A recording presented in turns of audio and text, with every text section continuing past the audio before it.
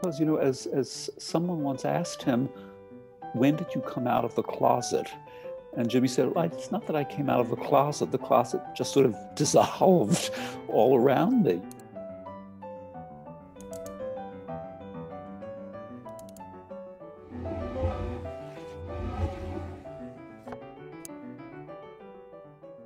I think it was in New York, uh, and probably in December, and probably 1970. And I say that because I was with uh, Ken Bleeth, my partner of 52 years now. Um, I was still in graduate school. We were having dinner with uh, our mutual friend, the late David Kalstone, who was a dear friend of Merrill's. And I think we were all going out somewhere. And um, I had never seen anybody so um, refined in my life, and I was quite intimidated. And Jimmy said in his, what I think is now called Locust Valley Lockjaw voice, which was compounded of equal parts Upper East Side and uh, Atlanta, Georgia, from his mother. He said, Well, who are the interesting people at Harvard now? And I thought, well, I don't know any interesting people. I'm just a, I'm just a lowly graduate student. I have nothing to add. But he was very, um, he was very gentle and he was very inquisitive uh, and he wanted to know what was going on. And this was, I think, a function of his innate manners. He did not talk about himself. Uh, he asked about others. Whether he was really interested or not doesn't matter because he was bred to ask questions about other people and not talk about himself.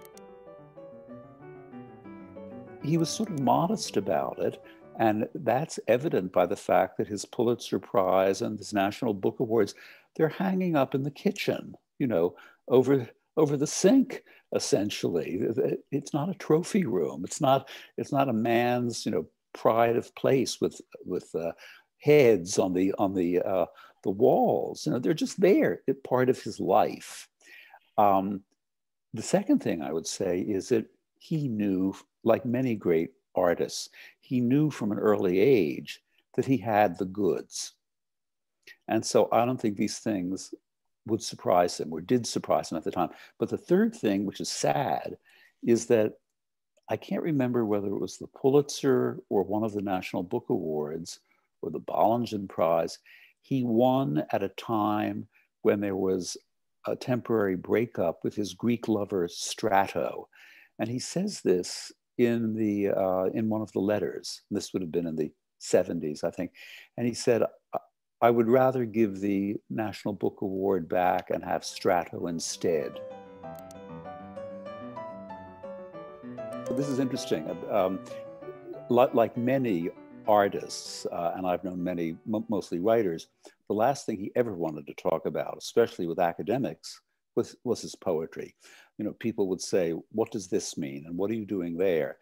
And like Elizabeth Bishop, who really hated that even more than he did, he just wanted to be an ordinary person because his, his um, creative life was something between him and his muse, or him and his typewriter, or him and his computer. So I, I could tell right away that I was not to ask questions about this kind of stuff to the great man. In 1988, I was coming to Stonington from New London to pick him up. We were going to take a plane to Block Island to visit some people whom we both knew. Uh, this is the late Clara Park, a writer, and her husband David Park, who was a physicist. And Clara had written about Jimmy and they had corresponded and they, they liked one another quite a great deal. And I remember pulling up to 107 Water Street. I'm sure he was part of his politeness was that he was always on time. And he was sitting on the stoop like a, like a schoolboy waiting for the bus. And he was there with uh, a big hat and an enormous bag of stuff. And I said, Jimmy, we're only going over to Block Island, you know, for the day. And he said, Willard, at my age, the pharmaceuticals and the cosmetics alone take up a whole bag. But he had come laden with, with gifts for the hosts. If by warm you mean fuzzy and welcoming and you know like a like a grandmother, no. No, he was formal. He was formal and and a little bit stiff and a little bit shy with strangers. But I'll tell you one thing: uh, the politeness paid off. He was. I don't think there will ever be a collection of this. He wrote the greatest thank you notes I've ever seen. Uh, and whenever he went anywhere, you know, to a dinner party at a university, he always wrote thank you notes, and they always struck exactly the right tone.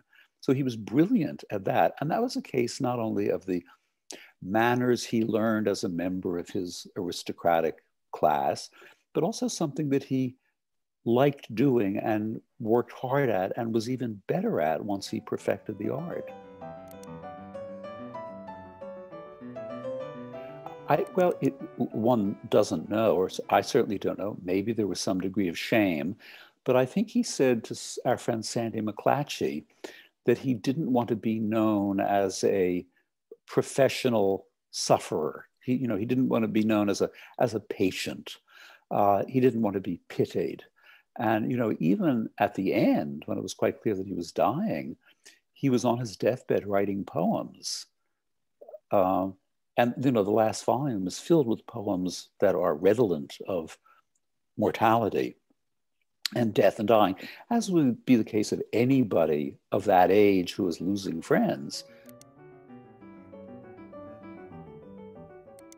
When he died, Sandy McClatchy, as one of his executors, was going through all of the books at 107 Water Street. And he said, I knew that Jimmy was a graphomaniac. Maybe that's my term. He couldn't help himself from writing, writing all the time. And so Sandy said he would open any book and pages would come out notes that he had made or things in the margin that he had scribbled down. Uh, he was always writing, always writing something.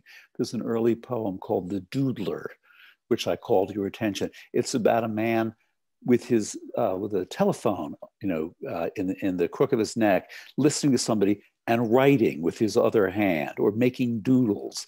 So he, that was multitasking before that was a word.